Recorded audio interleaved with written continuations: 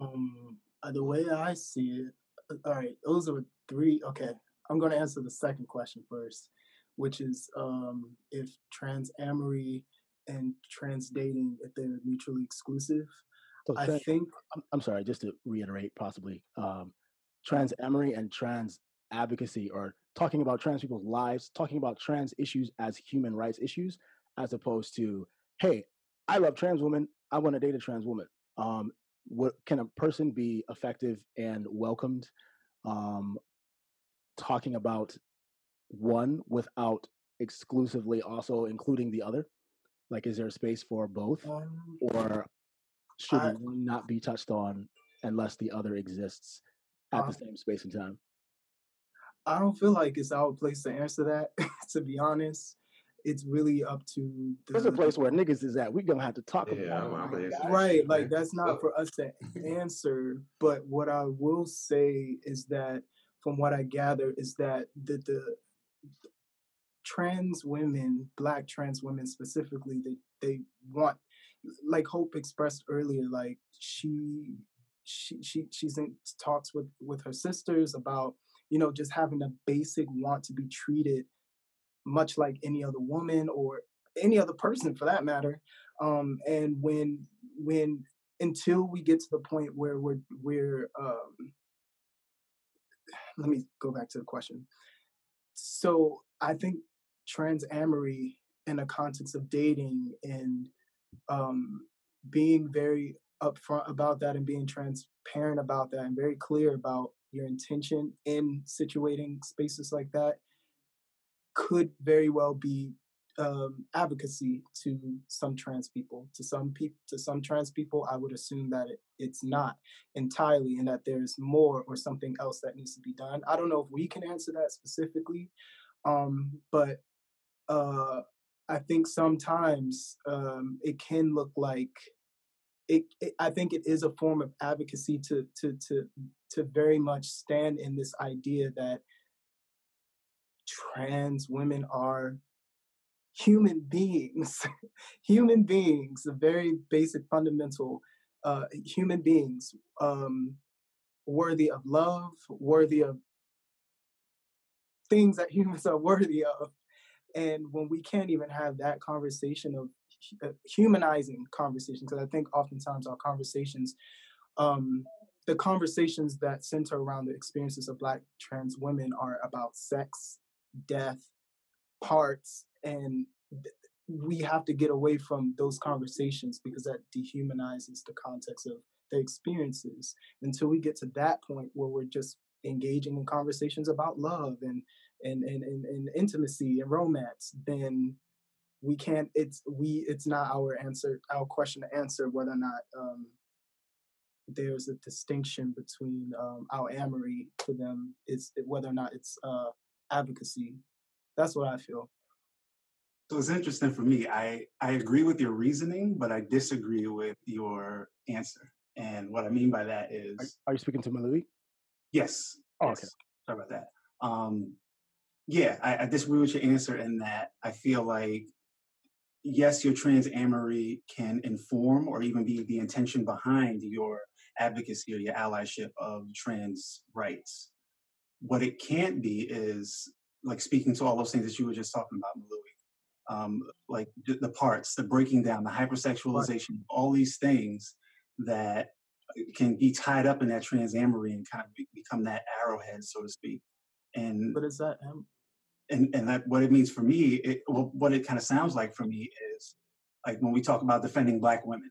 It's like, oh yeah, I'll be out here in these streets defending black women, ah ah, ah, when they happen to be my mom, my sister, someone that I have this relationship with, someone that I think is, you know, good looking or that I'm attracted to, and all these things surrounding, oh, I can do this work when there's some kind of connection, as opposed to I'm doing this work on behalf of a human being that needs no justification. I believe them. I trust their stories, their firsthand experience. There's no need for me to validate that. So to have that like trans amory piece, it will help inform that and can even get you in the gate, so to speak, as far as like learning like what that work can look like for yourself. But it shouldn't be like that driving force of, oh, I'm doing it to this end. I agree. I the, totally. yeah that I, Mhm.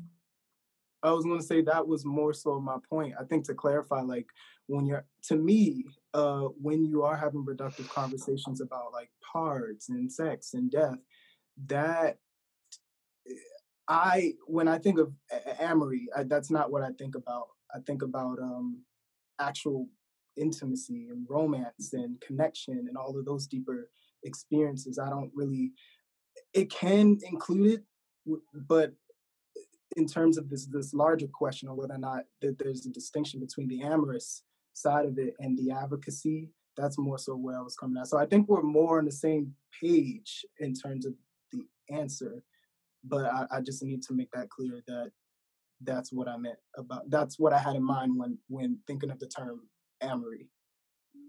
Gotcha. I think for me, um, to answer your question, Lex, uh, and I've been I've been sitting here trying to figure out how to not make it problematic, but I think that it is still problematic, and it's something I'm gonna have to sit with myself on for a minute. But part of me, um, because one of my sisters that's a little bit more like "fuck these niggas if they can't," um, said something to me about a month ago, um, that kind of stuck with me, and I feel like uh, I understand it a little bit better now because it's just kind of like, well, actually, um, a male friend of she said this to me as well, another trans amorous male that I was speaking to. And what they both conveyed to me is that when the the basis of your conversation stems from this place of amory there's an expectation that your advocacy is led by that amory, right? And so when the basis of your conversation starts there, there's the expectation from other people that the reason that you are doing this is because of those things. And I think that the reason why Lee gets away with it more so is because even if he does have an affinity for trans women, the basis of his argument started there. It started with humanizing us. It started with trans women are women. It started with the rights of women. Whereas what I think now, which I believe is the problematic piece, depending on the way that I say it, I don't know. I'm still trying to figure my way out through it, feel through it, right? Um, I think that a lot of guys start with the amory and then get upset when people dig at it, right? Because it's like, okay, so tell us more, tell us more, and, and tell us more. Um, and it's like, but wait, I'm done talking about that. Like, no, because now we're feeling like you have to be that person because that's what you started off as. It's, it goes back to when I was talking to one of my uh, YouTube people way back in the day before Hope Disguised was Hope Disguised. And I was like, How do you feel about my videos? And he's like, Well, girl, what I'm seeing is that you got some nasty reads. Like, you can read a bitch down for 30 minutes, but the question is do you want to be known as the girl that people go to when they want to see a good read mm. and i think that trans amorous men have to kind of start in that place as well in your messaging? Do you only want to be known as the man that likes trans girls or do you want to be known as the man who sees the humanity in people right? And some of those people happen to be trans. And i think that that in, in answering your question, I do think that because of those things, that your amory and your advocacy do have to be separate. Your amory and your advocacy do have to live in two separate places because when they live together, there's expectations that are that all, almost need to be fulfilled by the people that you're advocating for based on the reason and the thought process for why they think you are advocating right? If I'm advocating for Black men coming from this space of love as a Black woman, there's an assumption and there's an expectation that I'm going to be with a Black man that I love. It's kind of so, okay, to put it in perspective for all of us, right? We've all seen that black man that be out there like black women, black queen, black power. I'ma be da da da da da. and then two weeks later, we see him with a Karen and we all be like, my nigga. You know what I'm saying? And and so it's one of those things where like because his advocacy comes from this seeming place of of love for black women and love for black queens and admiration for black women, when he's not with a black woman, we'd be like, nigga, what?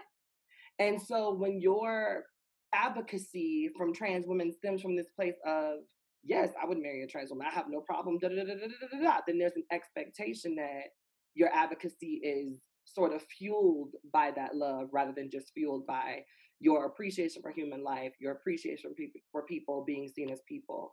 Um, and while it might suck, and I think that that's the thing that's got me like, Ugh, um, is that they do they just have to live separately, and your messaging um, it just has to come from from that place. It has to come from that place of trans people are human, and, and we need to treat them this way trans people and trans women deserve these things because of their humanity.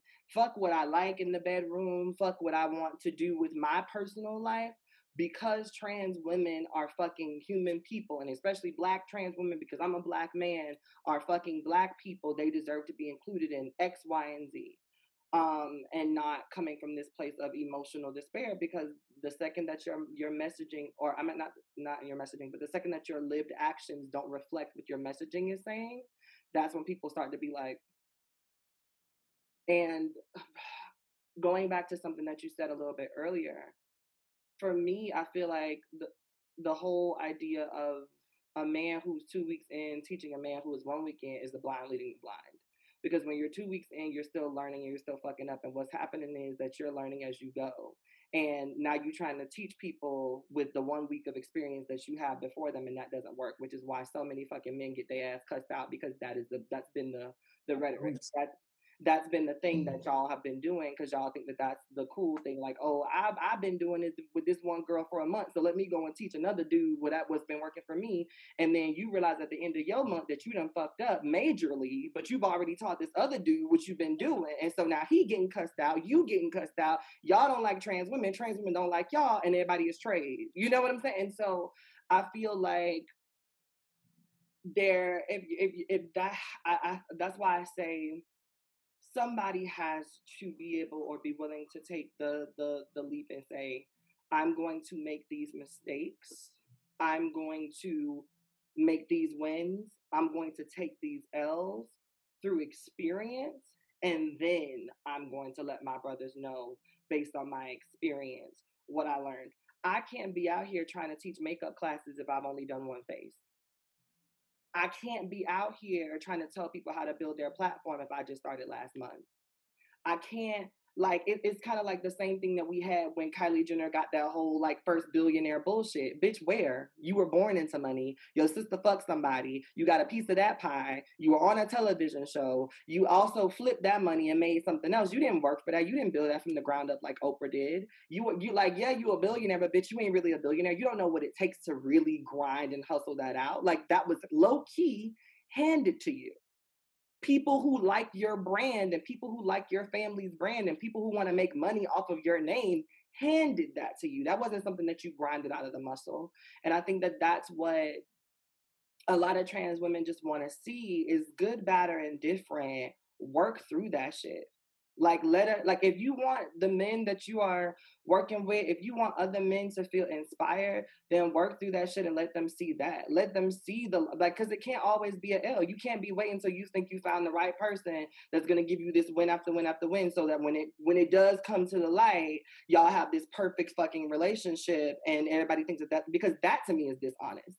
That part of it is the part that makes men feel like, oh, it's gonna be gravy boats and all that. And that's not what it is because they're every girl is different. Every like there are gonna be so many nuances. So when you come out and y'all have this perfect fucking relationship, niggas gonna feel like, oh, I should be able to do that. And when they hit a girl up in the DMs and she be like, uh, no, it's gonna be like, nigga, you tricked me because you told me like you and your girlfriend don't never do this, you know, you know, like there has to be. I think that that's the growth is being able, if you do want to do, or when you decide that you want to do work in trans amory, you can base it off of experience. You can actually say, in my past relationship or in my current relationship, what I am learning, what I have learned, versus being able to say, well, what I can guess, what I can assume what I think because you don't know. You ain't never been there. You know what I'm saying? And so I, I think that that to me, for what you were saying, as far as like guys kind of like leading each other on that week by week, I just feel like that's irresponsible because, it, it, you know, it, it's just it's some toddler shit. Like two toddlers can't teach each other week by week because you just burnt your hand on the stove, and by the time you realize that it hurts, the other person already sticking his hand in the oven. Um, you know, and so actually, I, toddlers are really, really good uh, teachers of each other. That's why kids go to playgrounds; they learn how to uh, be in in social settings with people who are on the same level as them. But I was kind of just making like a example that was very general. I didn't mean like no, I, I get it, but I, I wanted to. I feel you though because that made me furrow my brow real hard. I was like, what? like, oh no. But um, as it pertains to everything else that that's been going on, I definitely think that your your advocacy. I, I think as hard as it is for me to admit, I do. I think that for myself and for a lot of the women that I um, find and seek family in, it might be easier for us to receive a lot of trans amorous men's advocacy if their trans amory took a backseat. I guess that kind of brings it full circle back to Conscious Lee. Not to mm-hmm. keep bringing the brother up, but that man came in completely like, yo, trans women are women. It's a human rights issue. And then eventually it still led into like, okay, nigga, so where are you at? And if you go into his comments, it it very much turns into like, okay, I want to marry you, or okay, yeah, where you at? Oh, do you like trans women? And he'll be like, mm, he'll he'll set it down because obviously he's married, like we talked about but it just seems as though it is impossible to separate those two. And I'm not saying that they should be separate. Mm-hmm. The only thing that makes me feel like possibly it might be a good thing if they were able to be is the fact that you do run into what seems like a brick wall when somebody is advocating for the human rights part. Because I feel like, to be straight up, I understand the side of trans women wanting that, wanting that, what they see other women having. Obviously, everybody wants to eventually have a relationship that's going to be fulfilling for them, that's going to let them, like Chris said, ride off into the sunset.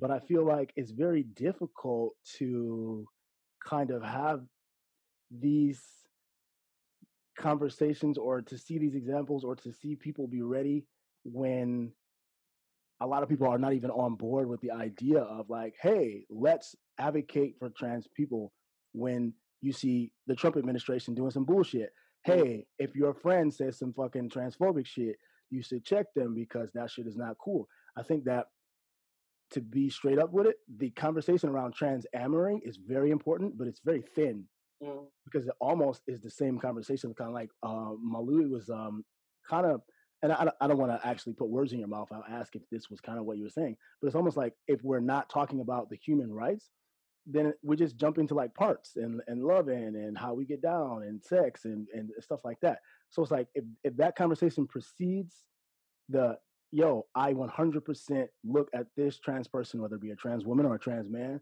or even a non-binary person, no matter who they are, I look them in the eye and I see a human being and I see their soul resonating through the fire in their eyes. And it's kind of hard to perceive the loving relationship when most people are not on board with the human rights part.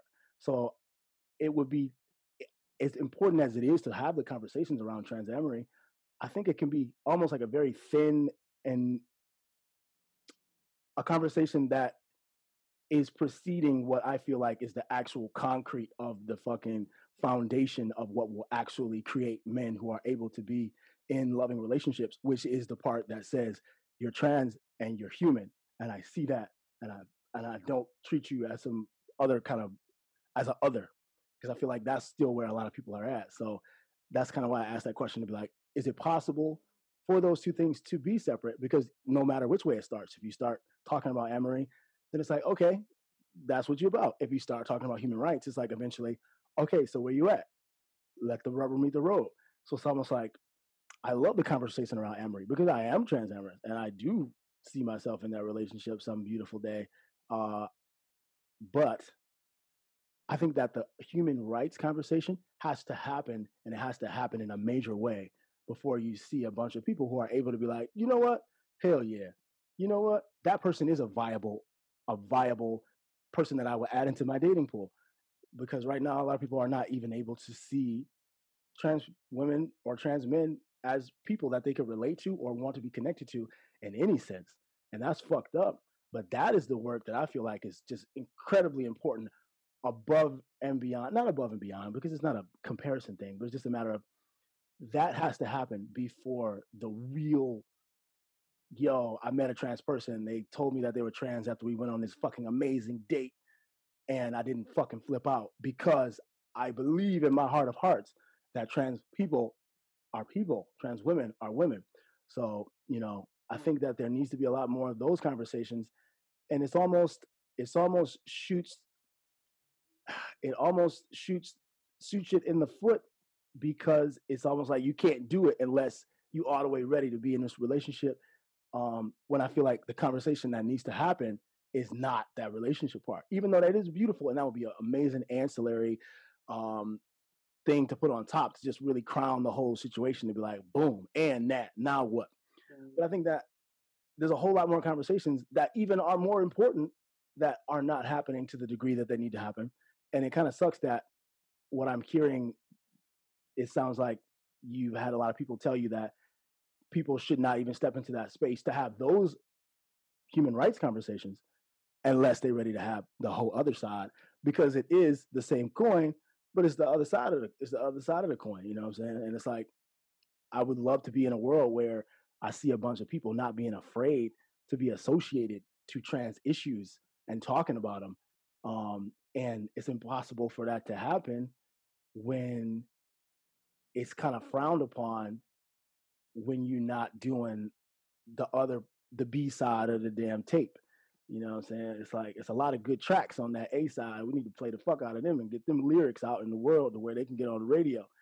And um, before we do that, you know, the B side cuts is, is not really gonna be something that people are gonna be able to hear yet, as far as I'm concerned. So I don't know. That's kind of why I posed that question to be like, are these two things different? Are they mutually exclusive? Is there space for both of them, or do they mess together at a certain point? But um, yeah, it was just it's just that if anybody has anything to add to that, um, or if y'all want to move on to some other shit, that's cool too. But I just think that it's interesting that we want to see people having these beautiful human relationships with trans people before people are having these conversations about trans people being human. And it's like I want to flag for you that I think that a lot of the because as I was listening to you talk, I think my my brain was just like the problem is people are having these conversations. You like there are there are millions of conversations about trans like i said there's a bunch of cisgender black women that are now having this conversation there's a bunch of new black cisgender heterosexual men that are having this conversation i right. think so it, let's, let's it, it, it, it, gets muddy though when mm. you know that somebody is trans amorous right because i think that that at that point that's when the girls are just like we got enough people doing that. Like, so we need if you if you gonna do this, then do this because we have like we're having our own conversations. We have enough allies that are out here also doing this. So if you're gonna step in the ring and you're gonna be talking about this, then you need to talk about this and educate the people on this because we have enough people talking about human rights. And I mean, honestly, in, in some spaces we do. We have more allies now than ever before. There's a bunch more people talking about trans rights that are not trans. Um, than ever. And we saw that with that huge turnout for Black trans women in Brooklyn.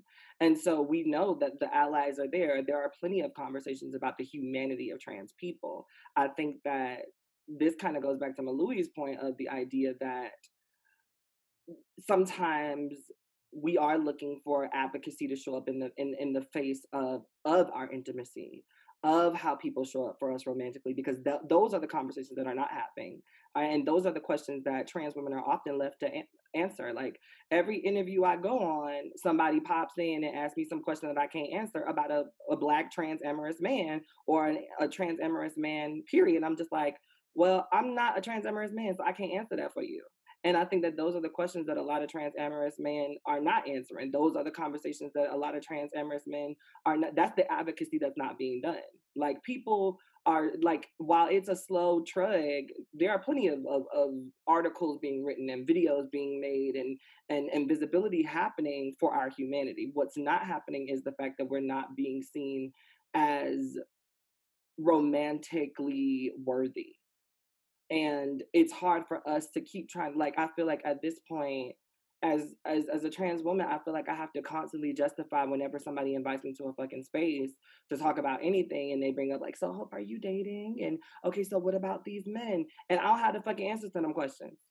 And then I can't be like, oh well, you know, this is a great resource because then ain't no niggas out there that's dating girls that I can refer them to. Like it's like I, I and I'm I'm sick of of the look that I get because you just sat up here and you had this whole 35 45 minute conversation with this person that low key probably still think that you a man in a wig or with with a good contour and then they ask you this conversation about the way that love shows up for you and you either sit there with egg on your face because love doesn't show up for you or if it is showing up for you it's showing up for you in a way that you're embarrassed about. To be completely transparent with y'all there was a point in my life where literally I, I, I had a whole relationship that wasn't a fucking relationship and I couldn't talk about the relationship and I was embarrassed when anybody asked me to bring it up and there are so many other trans women that are doing the same thing. There's some of us that have had a piece of trade for fucking years should be in a common law marriage by now that we couldn't talk about or that we can't talk about because it's just like and, and it becomes embarrassing because the conversations around that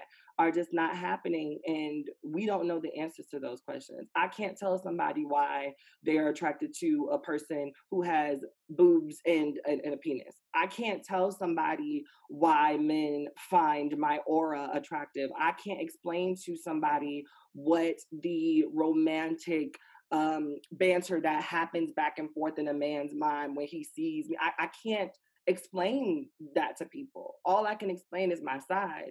But what does happen for us a lot of times that we're left looking dumb because it's just like you just sat up here and you said all of these amazing things about yourself, but all of these men that y'all claim love y'all, like they don't love y'all for real because it's never happening in the open and it never happens out loud. Like people know plenty of stories about the ways that trans women, you know, are out here screwing people's husbands or have all of these trades on the low key. But I think that in some cases, especially when you have those transphobic cis women, they they love to get a laugh at the fact that like, yeah, bitch, you can do all of that shit behind closed doors, but he will never marry you. You can do all of that shit behind closed doors, but says every time I see you at the club, you with a whole bunch of your gay friends. Every time I see you out, the boys are taking pictures with you, but you, ne- there, a man will never take you where I can go. A man will never show up with you at church where, like my husband does. Like, and those are the conversations, and that is the advocacy that I do think that as trans women we miss. We don't get that opportunity to be advocated for in that way, where men are just like, no i love these women like and and and here's why and this is you know like but there's plenty of stuff about human rights and so while I understand where you're coming from, Lex, and I get it completely. I think that the tiring part, and I think that the tiring conversation is that we get a lot of excuses about why trans amorous men can't do that part, but they're willing to do everything else. It's like, I, oh, we could talk about how you know, you're a person and how you're amazing and da da da da. But if you want me to sit back and talk and, and answer too many questions about the way that my love shows up, now we got to stop the conversation. Hold up, halt. Like, what you mean? Like, let's go back to this other thing over here because I'm not ready to have that conversation. And then it just makes trans women look dumb because then the people on the outside who don't understand that there's work that needs to be done just look at trans women like, see, and y'all think that these men really love you. They they, they think that y'all men in wigs too, low key. Just look at their responses. And to some degree, we be like, damn. like, I mean, well, she low key right, because that that it happens every time. It happens every time. Like whenever a man is asked to speak romantically about trans women, if it doesn't immediately go to some super hypersexual shit, it's dismissed, like it was with Lee. Like he might have been able to have a very like open and, and, and dope ass conversation about trans amory, but he had to dismiss it because of what his wife wanted. There are plenty of men that might be able to have dope ass um really great conversations about trans amory, but they dismissed it to talk about something that's easier because actually having to, like I said, it goes back to the defending question. Actually having to defend your love, actually having to defend trans women, actually having to stand up for trans women is something that I don't feel like a lot of trans amorous men think is worth it. Mm. All right, my niggas, go ahead. Talk like I'm gonna talk. Wait, I don't even know what that. How to follow that up. Well, anyways, yeah, I'm, I'm one of those people that been talking. I'm one of those. I've been talking for a year and a half now, and in a relationship or nothing like that. But that's uh, I have been in a, a, couple relationships, and something that I, I, I, push a lot with the other guys that I talk to is you know be be very selective and be very sure about your decision. Don't go into something be yourself because I just think you, are you're kind of wasting, and I'm not about wasting people's time either. So you know, it's it's really just about dating with intent. And if you see that, you know, Wong, you know, like you said, Hope talking about, you know, that first date, and he's like, wow, this could be the one. If you're not feeling that this could be the one, like get the fuck out.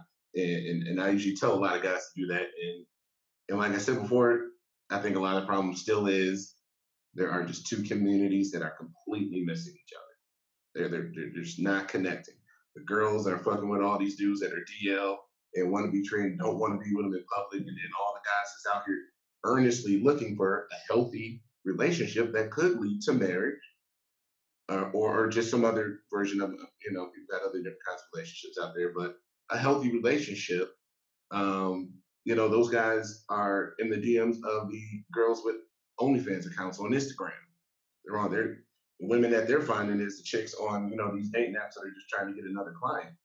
And, and, and so so they're in a they're they're dealing with an audience that doesn't really want what they want. So I, I just I really think that's where the problem is. It's just two very small crowds just that they're not hitting each other. And when and when they do, it's fucking amazing. And that's how some of my homies got married. Like it, it really does work out. It's just it's really and it's been my experience because I've been looking and, and it's just really hard to find somebody who is open to a monogamous relationship and mentally ready for it who's not here, not here to play games, not uh, you know, who's who's done the work themselves in their mind to deal with some of the trauma that they've experienced, to move on to a way where they're ready to accept somebody loving them in a, in a healthy manner. So it's it's it's just it, it is unfortunate that that we just can't get it together as a community. Yeah, I mean, so, I think I, I think your point is spot on. You know, when I was listening to the conversation, I think there's a lot of cis men and cis women. There's a lot of cis men who date cis black uh, sisters who are not advocates and allies for black women in general. Like they they are in these relationships and there's no advocacy and there's no voice around black women. Period. Um, and so I think in listening to the conversation I do, in some sense, think that amory and advocacy are separate. And I do agree that I think advocacy, in some sense, it has become socially acceptable to be socially conscious. Like seeing people as human is the trend. I mean, that's why white folks have co opted Black Lives Matter. Like, okay, yes, people and humans matter now. Like, we as a society, I'm not saying that it shows up, but that language and that verbiage is pretty standard at this point in time. I think when I've heard this conversation is that's great to have advocates but you know the love the the affection the lifelong commitment to being in relation is where black men are not showing up for our black sisters in this conversation and so i mean i think that's a that's a clear point. I mean i even think about some of my experiences and some of the conversations i've had and some relationships or some dates or some opportunities and for me it was really easy to walk away. I was like okay like i you know and i saw because i thought there was this life happening like there I took for granted, I think, a lot of the things that you talked about tonight. And so I appreciate the perspective. I think it really helps me think more intuitively about the role of advocacy versus, you know, being amorous and what does that actually mean? And that we there is a need for black men to be more engaged about loving and affectionately caring of our an affectionate care for our trans sisters, not just caring for them in their humanity. Like I, I love you from an affectionate, intimate place. Um, and I think that's necessary. And we've not flexed that muscle.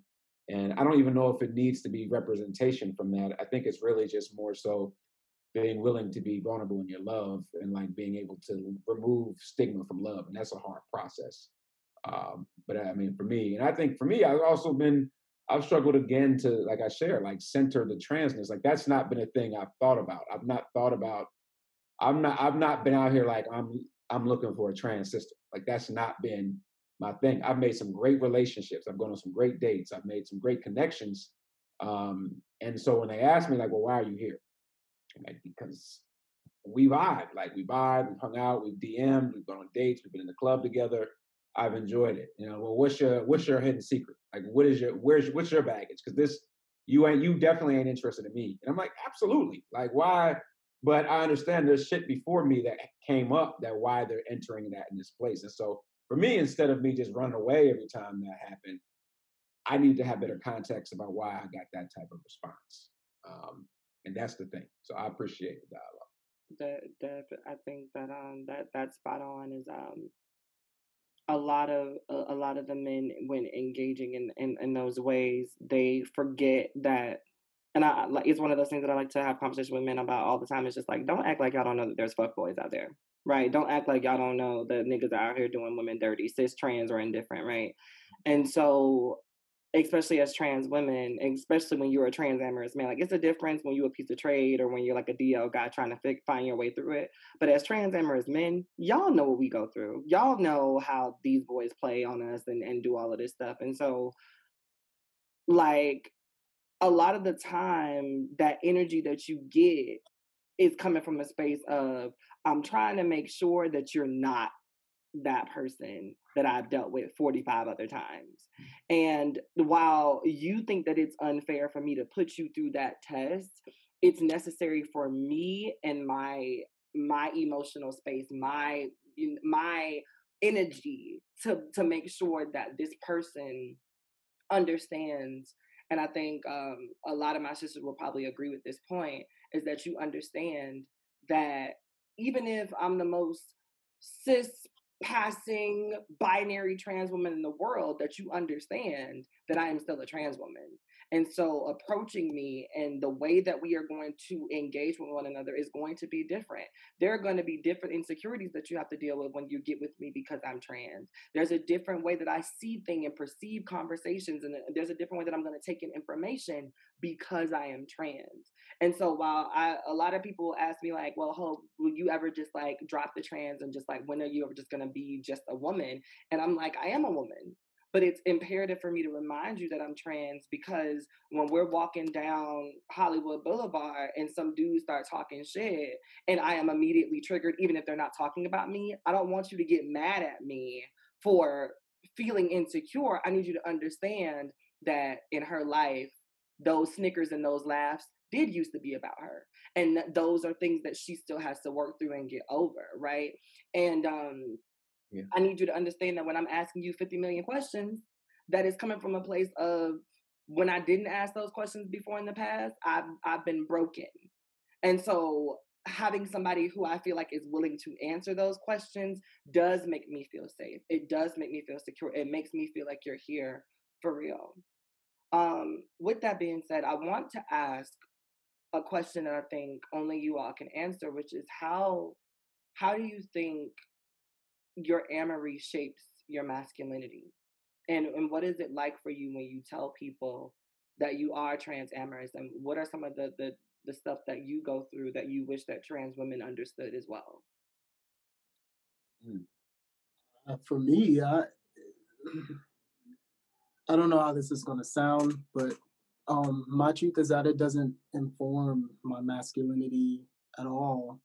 Um, again, I always enter into intimate relationships with this understanding like I am coming into this knowing who I am and accepting you as you are. And while I would want for you to to to know who you are as well, I don't think what you know of yourself informs what I know of myself. That makes any sense. Um, like I, I, me specifically, I don't, I don't, I don't play into roles that that that feed this idea of like, oh, uh, to make you feel more womanly, I'm going to do this thing, or in order for me to feel more masculine, like you should do. Like I don't have any of that. I think it was. Um, Jamie that expressed like this um, n- not centering the transness and the amory. Um, while it's important to understand the experiences of the people or person that you're um, sharing intimate space with, uh, like whether it's this is a black person I'm in a relationship, in, intersectional identities, whatever. Uh, having that understanding is very important. But in terms of uh, having uh, having their identities influence or uh, inform uh, yourself that doesn't that's not a thing for me so sometimes um in my amory if i'm talking specifically about um black trans women have having amorous connections with them the the the hard pill to swallow is that I won't do things that validate your womanhood.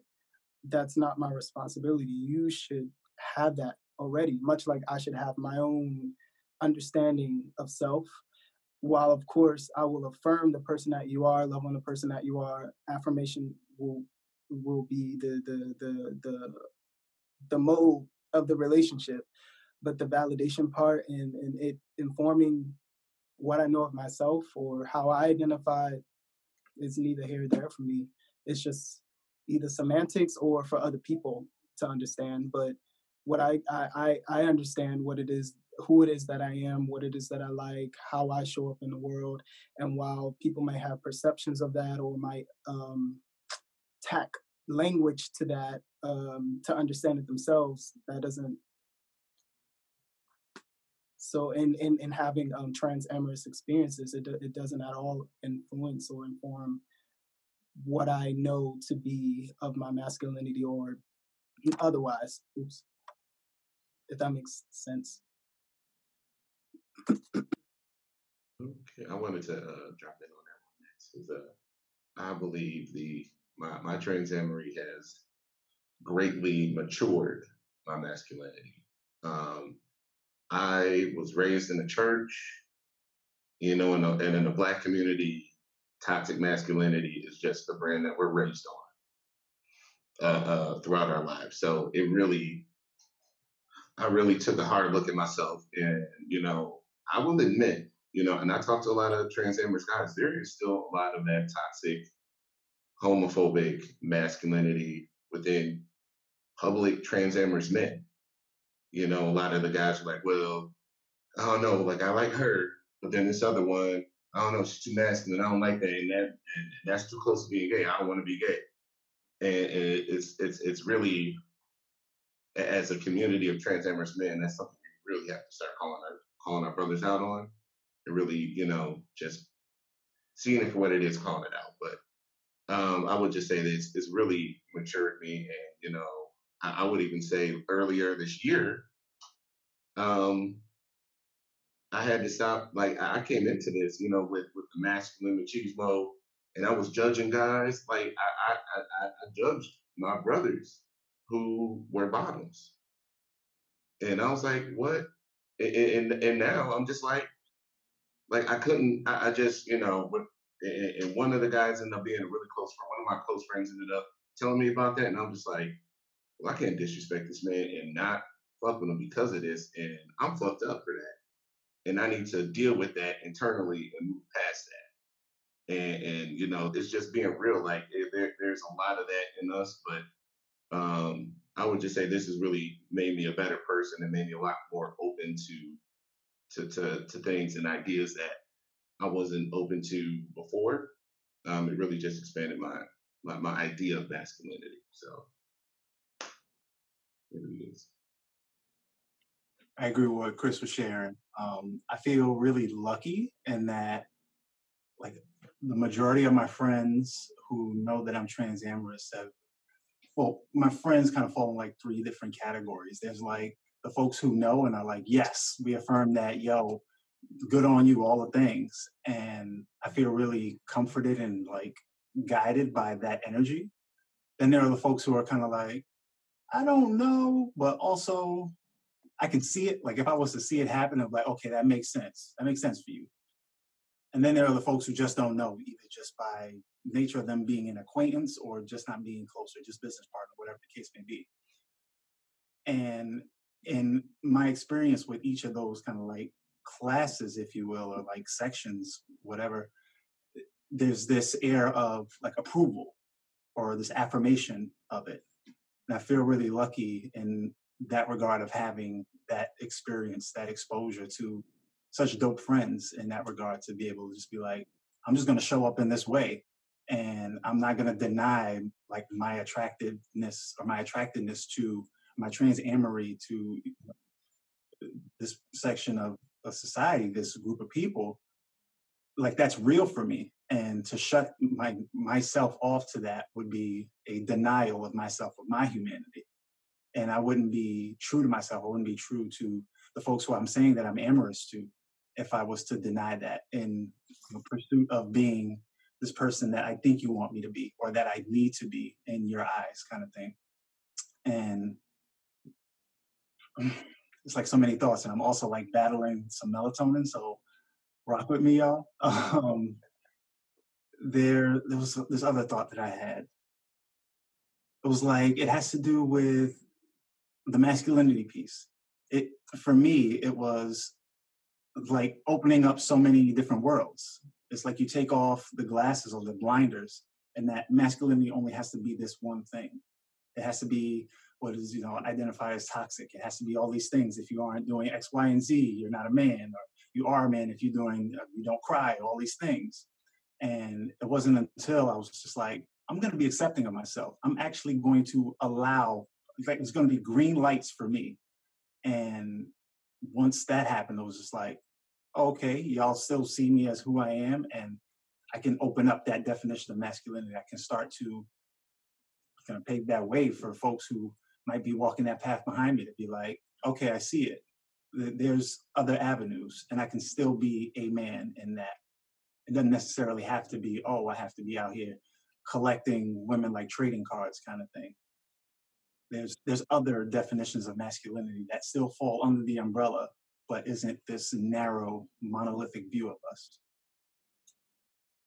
You know, I, will say, and I'm, you know, for good or for not, I'm a little bit definitely on the opposite side of a lot of my brothers. I'd say that I think I've spent most of my adult life trying to fit society's image of what a quote unquote successful black man um, looks like, which it, which includes the idea of respectability or masculinity. And because of that, there are a lot of folks in my life, whether they be cis, hetero, trans, that aren't aware of my amory, and that's just been because, and that's and that's my own process. You know, I think today's dialogue that we have, I'm happy to be a participant, but I've also been a learner as we've had this conversation because I recognize that because of pressures across you know society and the ones that I've adopted and digested that I've not been.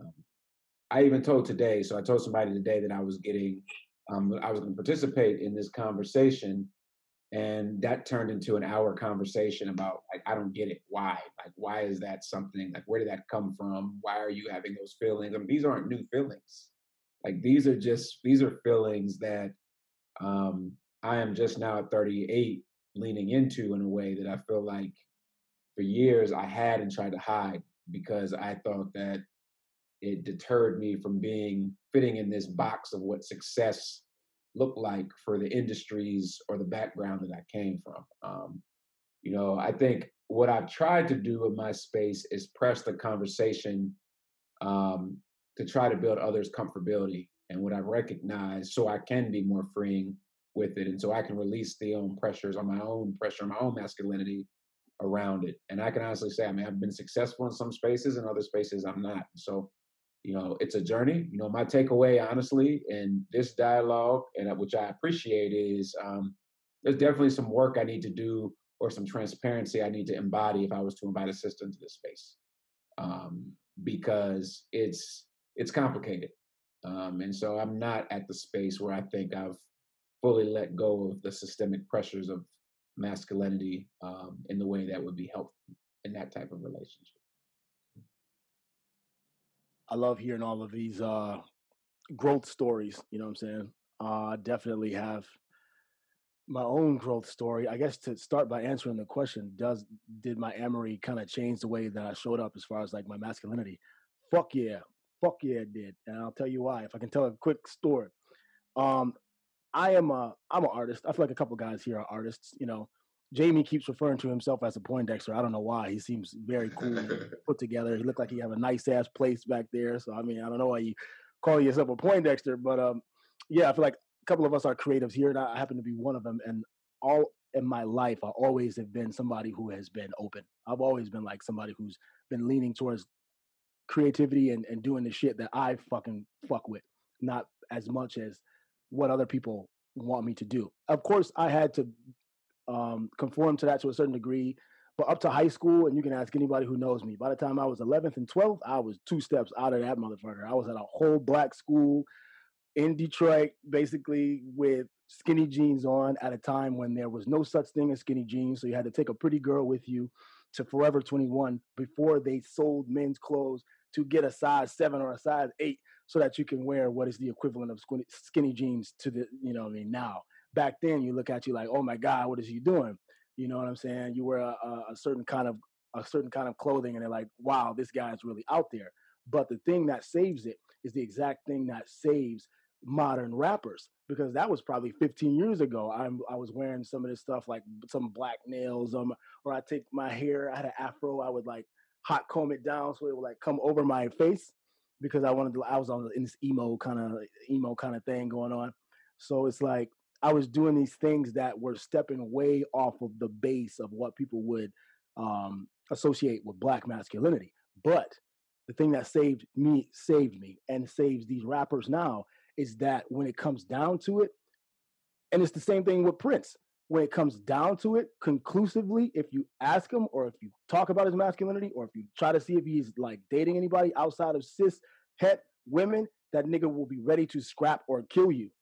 And like that was the thing that like saved people from being able to be like, okay, now I can do this thing because in every other place I am decidedly masculine. I am traditional. So I was the person who always was able to do that because, you know, I mean, the gyms have been closed; you can't really see it. But I always was the guy who embodied this, this, this, this um, stature that was like, okay, that's not really the guy that you really want to, you know, fight with. So like, I had all of these boxes ticked as far as like what is considered to be masculine at a base level. But then when I started to talk about trans amory or talk about trans anything, then you have one of the things, and it's fucked up that it is this way, but you have one of the major tenets of what is considered to be a real man. Now it is like, okay, now we're kind of questioning this very important box, which is who you lay with, who you put your dick in, who do you love, and then if you are if you are viewed in a way that could be considered to be kind of gay with what you're doing and who you love, and then your presentation and masculinity is anything but regular, it's like, okay, nigga, you just gay. So for a long time, I was very much fighting this this thing because it was a double-edged sword in the sense of that if you would have asked me 10 years ago, and people always did, what is it that you like about trans women? What is it that you like about trans people?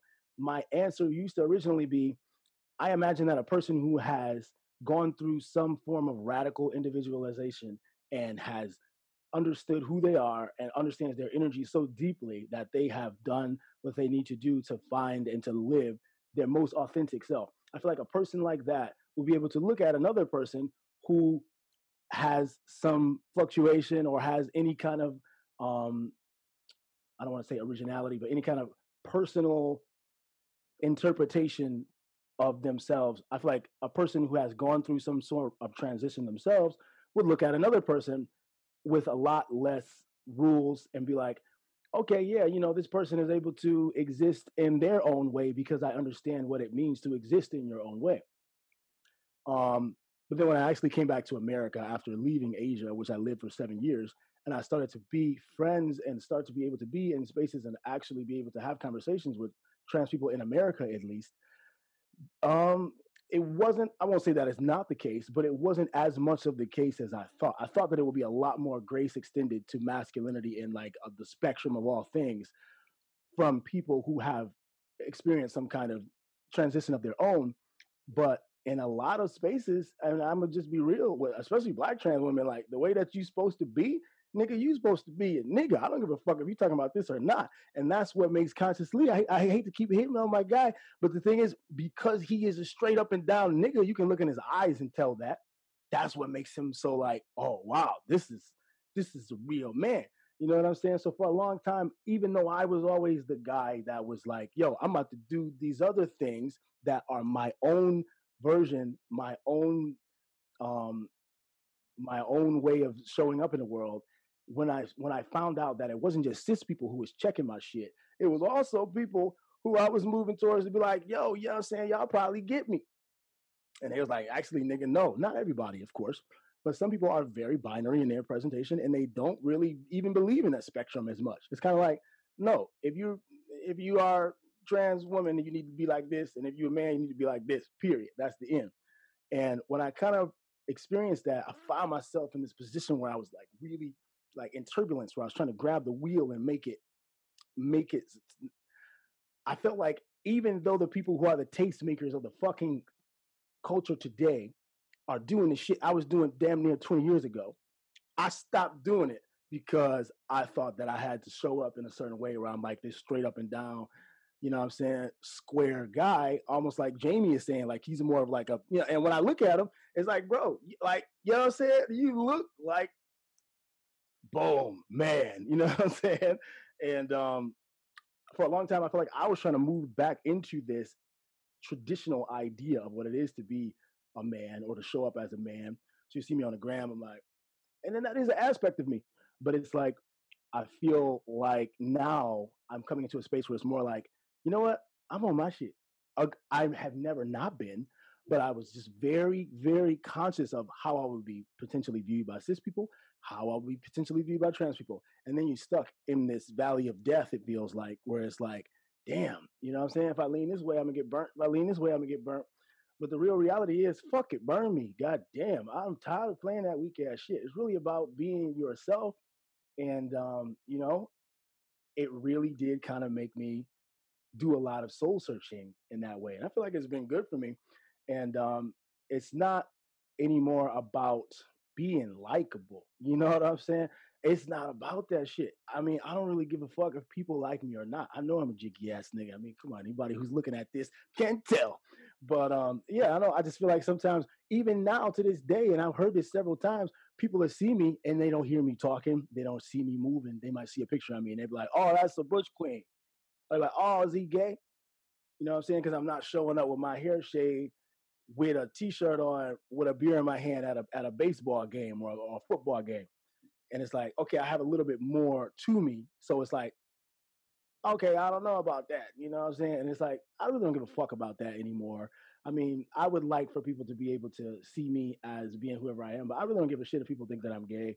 But it's it's always us as men. We try to find a way to not be to not be called gay. And the thing is, I don't care as much, but it's kind of like when I first got my locks, and I don't want to talk for too long. When I first got my locks, people they would walk up to me and they say, "Yo, Rasta man, respect," because nobody had dreads back then but it didn't piss me off because it's like being Jamaican is not this fucking reprehensible thing to me. So when people think I'm gay, I really don't give a shit, but at the same time, I'm not. And so it's kind of like, I would like for y'all to understand that I'm not. But, you know, to bring it full circle, it did definitely make me have to think about how I show up because of the way that you're viewed from cis people and some trans people. Some cis people and some trans people. No, I want to um, just add on to uh, just very quickly where Lex said he is right now, where he doesn't care how people think about him. I'm not 100 percent there. I'm gonna sound like yeah. well, I mean, you know, you don't care how one side or the other side I'm just saying, like you, you, you, you don't fear that judgment for being who you are. That is definitely one of my biggest regrets after I got into this is that I waited so long. Is that I waited way too late in my life to to get my shit together and really accept myself and move forward in my truth. I, I, I my hat hats off to all the young brothers out there that are doing it in their 20s. I didn't start until I was like 30, 31. And, and you know, I just, it, those previous 10 years, it, it really does feel like time. I'm sorry, Brother Malawi. Go ahead, man. Sorry, interrupt that. It's uh, it's very interesting because um, I know that I'm an outlier in that in that sense in in this conversation of uh, uh, black trans amorous men or just black men um, kind of leading into their their own self-identified queerness because um, I've had a completely uh, uh, different experience. I've been raised by all women. My mom is a lesbian. I've been raised by two women. Um, my sister is a lesbian. Like I, I've I've uh, always been in the arts. I I never gave a fuck my entire life. I, it's always been instilled in me like you are who you are, and that's it. How other people see you is how people see you. Even even when you know who you are, people still have these perceptions and these these these labels, these these ideas of who you are. And so I've never navigated life, love, relationships with this this this fear of like, oh, if I appear less of a um, of, of, a man or less masculine, than like I've never ever had that.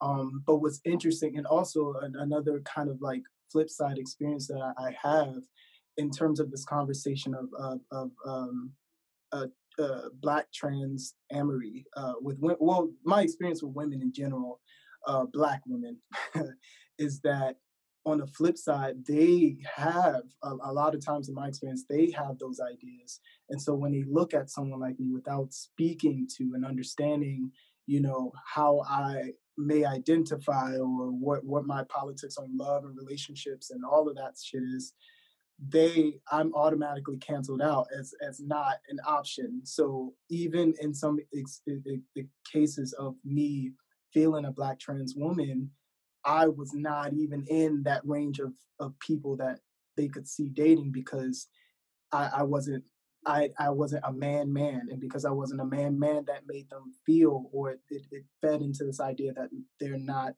a woman woman which mm. which I understand could very much invalidate um, their trans experience and so when I I talk about um, it's not my job to validate and all of that stuff it's coming from this idea that I never gave a fuck I never had to go through this journey of like you know, letting go of the church and this and that. Like I never gave a fuck. I've always been an artist. I've always been who I was and how I understand myself and how I may or may not even identify is is is all of the self and what other people perceive of me is a separate thing.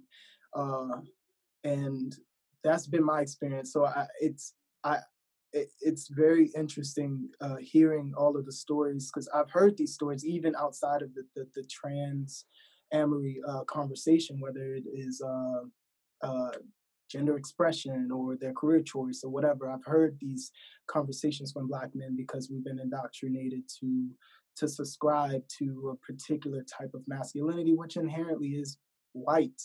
Um, but I, that's never been my experience, and so um, it, it, it's very interesting because I I don't even I I and pushed out of the door most of the times. Whereas I think most black men in a context of trans amory are fighting themselves to even get in the door to even know or understand what it's like to to to uh, be in relation to someone who is a, a, trans person or trans woman, a black trans woman at that. Uh, so that's that's interesting. I um I think that what I've learned here from all of you, and I think that Malui, you summarized it really well, because that was something that I had to learn a couple years back. That like I can't lean on my partner's expression of who they are to validate my experience because that was very much so a big issue that I had that I didn't know was an issue until I was called out. And it was just like, I'm gonna be me over here. Like, you got to figure out who you are and you know you have to be happy in that and that has to resonate for you in a way that helps us to feed each other like that helps us to become a rechargeable battery versus you sucking all this life out of me to affirm you constantly that you're a woman like i'm with you because i like who you are and if you say that you're a woman then that's what i'm affirming on a constant basis. But um i think as a as, as trans women what a lot of us do have to do there is this this unindoctrination period of like unrealizing a bunch of things that you thought were true about yourself and realizing things that you now feel like okay you have to encompass and then unrealizing some of those things to create the woman that you are and the woman that you want to be versus the woman or the way that femininity is supposed to show up in the world right and then finally settling on okay hey everybody, this is Hope, and I don't really like putting on wigs all the time. like, you know, like and, and and that that's a thing that it took me forever to learn because there was a, a point in my life where I felt like in order for men to like me, my tits have to be pushed up to my neck. they have to be visible. I have to have on makeup. My hair has to be the best hair in the room. And then slowly but surely, I started to unlearn those things and I started to do women, womanhood in a way that made more sense to me. Now, my tits are always still pushed up to my neck because I like them, but that's uh-huh. because I like them, you know, and, and that's because that's what works for me, not because it's what I feel like I have to do to be affirmed as a woman. And I think that if if my sisters who are watching this don't learn anything else from that, I think that it's that it's not these men's job to make us feel like a woman and trying to de to de um devalidate who they are as men in order to make your, yourself feel more like a woman is an act of, of, of pure and utter fucking hatred and you wouldn't want it to be done to you right? Um I say it all the time like my favorite type of, of men are soft boys because I don't like the idea of not being able to joke with my partner about possibly being a fucking butch queen. I don't like when I'm having a conversation with my partner and I'm like, bitch, and he like, man, I'm like, nigga, chill out. Like, we, it's just us. Like, you know, like, and, and it's one of those things where I feel like I connect better with men who connect better with the idea of knowing who they are versus performing who they are. Because when you're performing, I, I can snatch that curtain down at any point in time and you're offended by every little thing that I say. But when you that know it's low key dangerous when somebody be performing because yes. Like if you snatch it down, you don't know what the fuck gonna be. I don't know what the fuck, and, and that's the thing. Like you never know what the fuck is gonna be behind there. And so I think I want to challenge my sisters to just like I know that it's appeal. It's never really, it's never really been appealing for me. I've always been like a an artist chaser. um, I've always been the the person that was, I was, oh, you gonna bring a white girl home, and then you know when I came out, it's like, oh, you gonna bring a white boy home, you know, whatever kind of deal.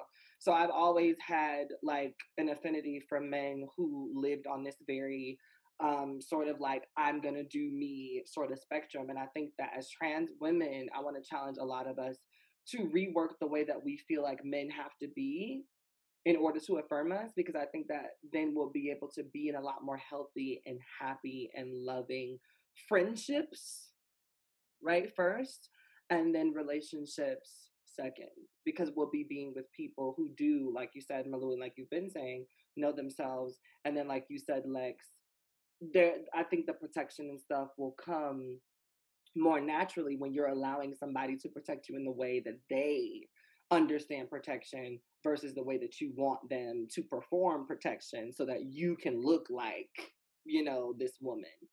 Um but you all this has been an amazing and fruitful and i'm just like i'm gonna have to go back through this conversation for you know a, a couple of different times to pick up on some things because y'all have y'all have snatched my wig several times and I, I've just had to like eat it real quick. But um I wanna know if y'all can give like a, a little 30 second elevator speech real quick to the people.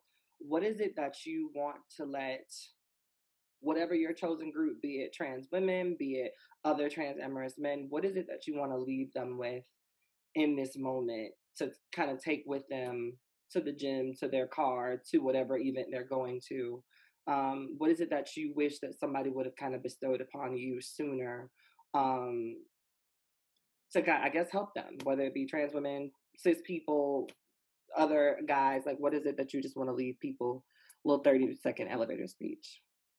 I'll go real quick because i gotta hop off in a, in a quick second but i'll just say my quick thing is to uh, my trans sister there are brothers out here who love you wholly and fully and who are willing to put them, their self, their beings on the line. Um, and so, just I think the Hope's last point: be open to who you see and who you recognize, um, because we are here.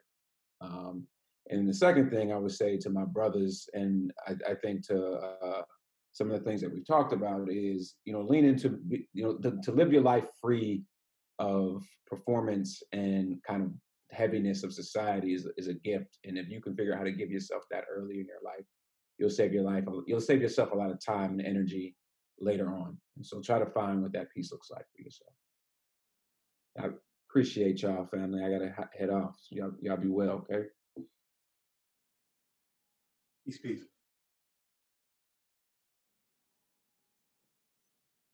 Um, I guess I'll go next. Uh, elevator speech. Okay. First piece, I would say uh, know who you are and uh, continue that journey of learning who you are. And if you if there are things that you don't know about yourself or things you should commu- things that you think about, communicate that with any person that you're in relationship with. That's the first point. Second point is don't give a fuck.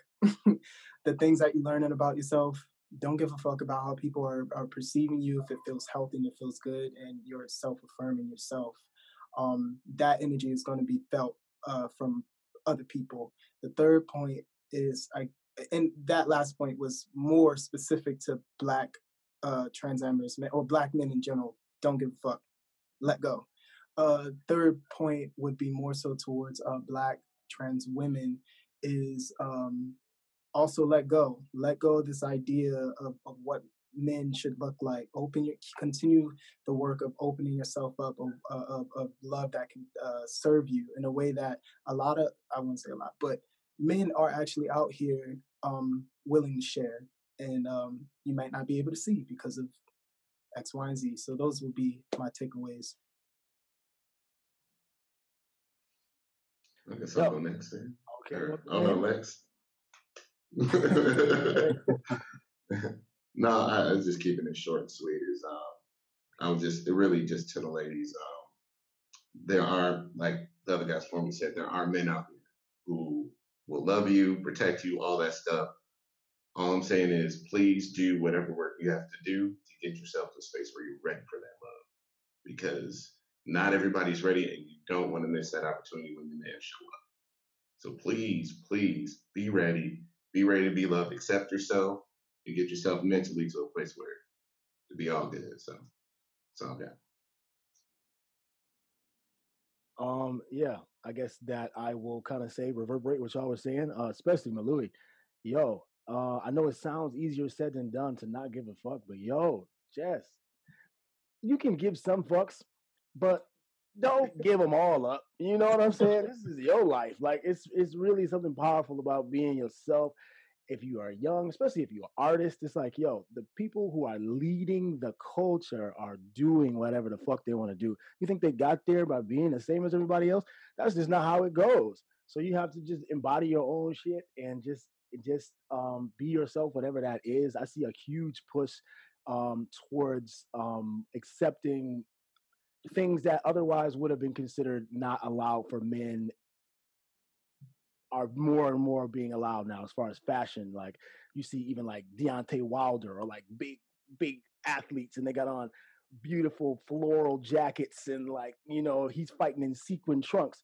So it's like it, it's really a time if if there ever was a time, the time is now. The time has been since the beginning of time, but the time is definitely now to just embrace all of the energy that is happening, embrace yourself, do that shit, do that shit that shit. um, for me, it breaks down in like two main parts to my trans amorous brothers. Um, before you can be an ally to anyone, you have to be an ally to yourself. And seeing those aspects of your humanity, your amorous, your attractiveness to these beings, you almost owe it to yourself to explore that. You owe it to your ancestors who fought tooth and nail to like see to it that your existence is allowed, that you are here. And to stunt that on behalf of someone else's perception of you for whatever reason is a disservice to yourself and to them. And uh, to my trans sisters, my sisters, I see you. I love you. You matter. Um, yeah, I want you around. I'm sorry, I was singing a little Snoh Aalegra in the background. um, but um, yeah, with that being said, you all, I hope that everybody who was able to watch this and who has listened to both parts of this, because it's definitely going to be a part one and two, that you were fed both spiritually, emotionally, mentally. I hope that part of this conversation has made you grow, even as somebody who is considered a frontline runner in the movement. I've grown from this conversation. Um, I've been challenged during this conversation. My views and my thought processes, as I thought that they would be, were challenged in this conversation, and I've been able to come out a better person and a better advocate, not just for myself, but for the men that I want to ultimately love. Um, my work isn't just about uplifting and empowering trans women. It's about empowering anybody who is here for us and anybody who is willing to put themselves, you know, in harm's way, whether it be via the internet, in person, at a march, at a rally, with your family. I'm I'm here for anybody that is willing to do that for the betterment and the love and the appreciation of who I am as a person, who my sisters are, and who my brothers are, and my siblings are as people. Um, so I just want to thank all of these amazing men for coming and sharing and giving so much of their time to have this very taxing and triggering fucking conversation. Um, and without further ado, like I said this time and every time, you all, peace, love, and hope. And uh, I'll see y'all next week. Bye, guys.